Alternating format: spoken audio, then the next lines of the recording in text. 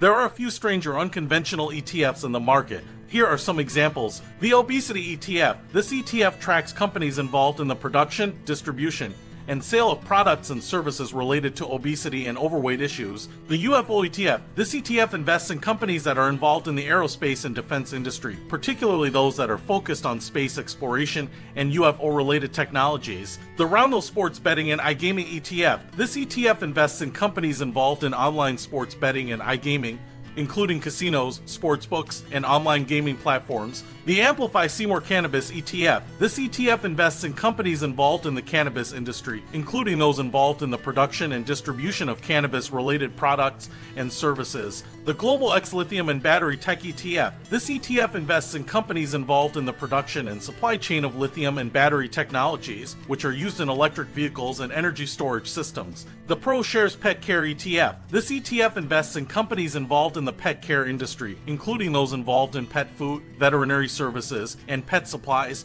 While these ETFs may seem unusual or niche, they may still provide diversification benefits to an investor's portfolio. However, investors should carefully research each ETF's investment objectives, fees, and risks before investing